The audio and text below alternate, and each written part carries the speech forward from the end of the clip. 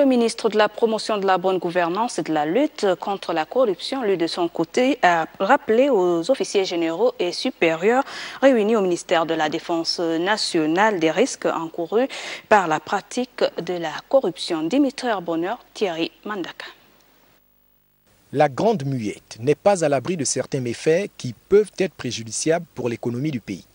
Elle compte donc dans l'agenda du ministre de la lutte contre la corruption qui s'est fait le devoir de rappeler la détermination du président de la République face à la corruption.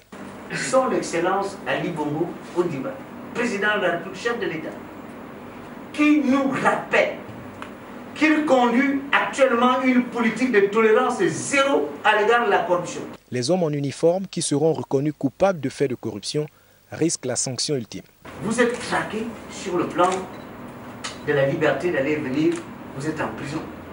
Vous allez également sur le plan de votre revenu. Parce qu'on va vous révoquer de la fonction publique et de l'armée. Le ministre de la Défense nationale a rappelé la valeur cardinale qui caractérise les forces de défense et de sécurité, l'honneur. Il affirme que ce guide pratique serait exploité à bon escient. Vous avez devant vous un panel d'hommes d'honneur, des officiers, des militaires, pour qui ce guide et euh, ce fascicule est un outil indispensable qui va nous permettre de surveiller et de mettre à, pas les brebis galeuses qui ternissent le uniforme. Les officiers généraux et supérieurs sont habitués au sacrifice de leur corps pour défendre la nation. Vaincre la corruption au sein de l'administration centrale n'est pas une mission impossible.